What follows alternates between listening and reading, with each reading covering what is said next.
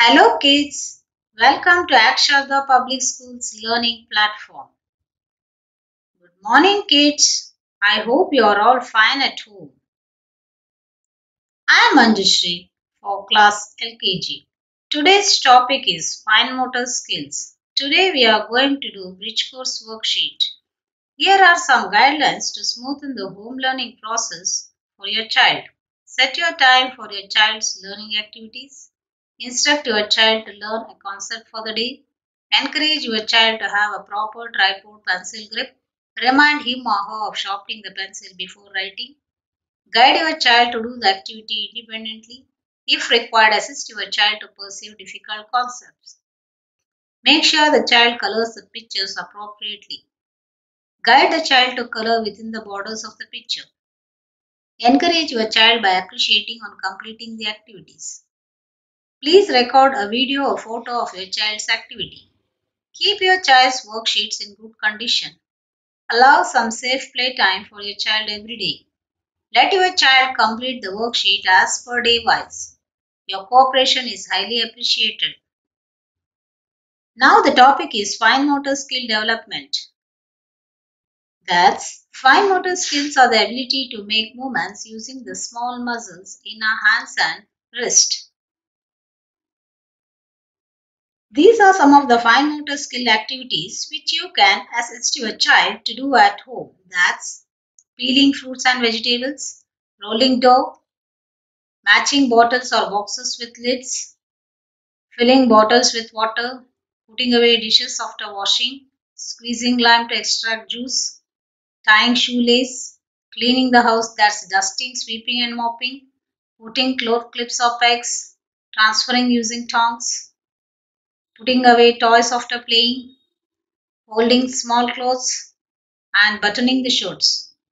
Dear parents, I hope you will engage your child in the above activities. Children, let's start with the first activity, but before that, please be ready with these things. That's pencil, eraser, sharpener, crayons, paint. Make sure you have fine motor skill worksheet number 1. Objective of activity number 1. It helps us to develop the proper grip of pencil that's tripod grip. Let us learn now how to hold a pencil. Hold a pencil with proper grip. Pinch the pencil with two fingers that's thumb and index finger and flip the pencil towards the wrist and support your middle finger to hold it.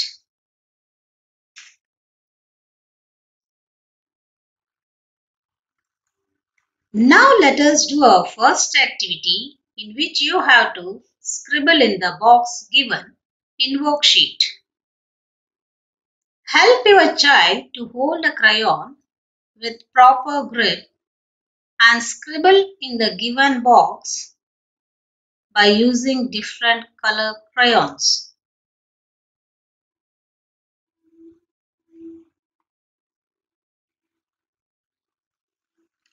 I hope you have completed the activity. Great job! Now we will move to the second activity that's thumbprint activity. Objective of thumbprint activity is to identify different colors. Thumbprint activity. Dip your thumb in the paint. Print firmly on the worksheet to create a colorful thumbprint by identifying the colors.